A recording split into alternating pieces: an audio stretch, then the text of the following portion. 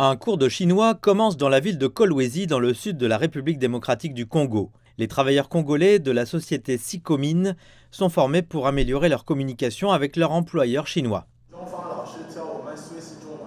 Les experts chinois nous enseignent la langue chinoise et les opérations d'ingénierie de base. Cela m'a aidé à devenir un employé plus compétent. Ma femme et mes enfants sont très fiers de moi. Je suis très reconnaissant envers Sicomine et nos amis chinois.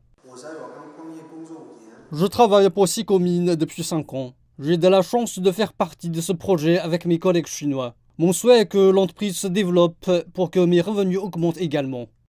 La Chine est le premier partenaire commercial de la RDC. Elle importe des minerais congolais comme le cuivre et le cobalt et construit en contrepartie des routes, des chemins de fer et des hôpitaux.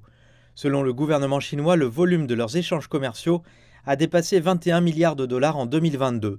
Le président chinois Xi Jinping a invité son homologue congolais à Beijing pour approfondir leurs relations. Nous pensons que c'est probablement l'occasion pour le gouvernement chinois et le gouvernement congolais d'avoir cette commission mixte qui examinera certaines questions en termes de climat des affaires pour les entreprises chinoises afin de trouver un meilleur environnement propice aux affaires mais aussi de notre côté pour s'assurer que la responsabilité sociale sera remplie pendant qu'elles font leurs affaires en RDC. Les programmes de développement et les programmes culturels que la Chine a mis en œuvre en RDC visent à promouvoir sa politique de coopération gagnant-gagnant.